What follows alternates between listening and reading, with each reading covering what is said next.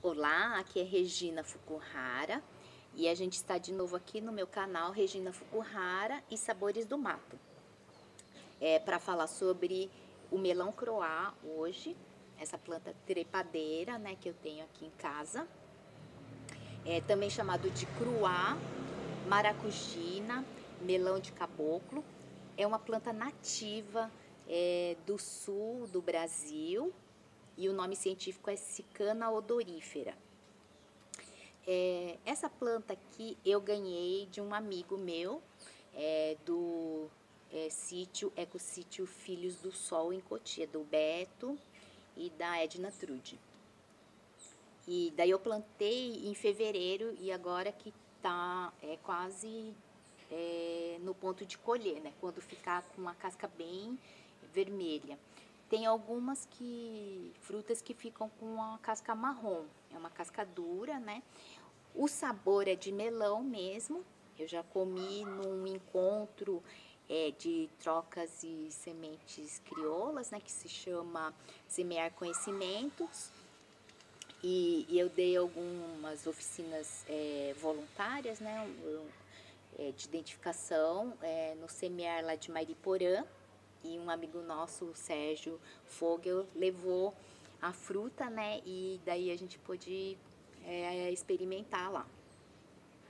E então pode se consumir in natura. É, e também a parte de dentro, né, sem a semente, é, também pode fazer pratos salgados. E fazer purê, creme, é, e a fruta ou né, um doce mesmo, com geleia, mousse, sorvete, suco.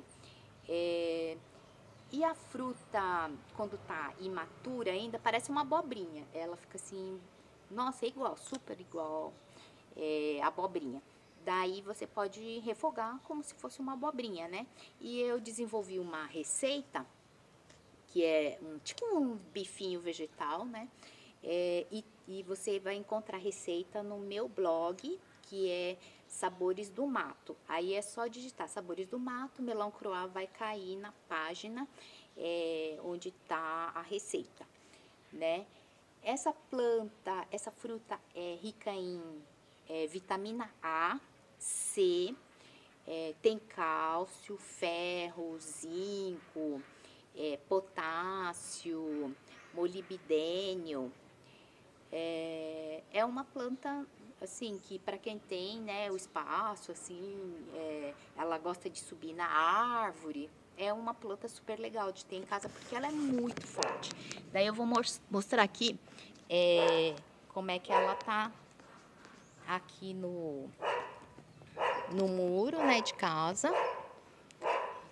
E e aí dá para ver a flor também Ela é uma trepadeira, uma florzinha é, aqui amarelinha, né?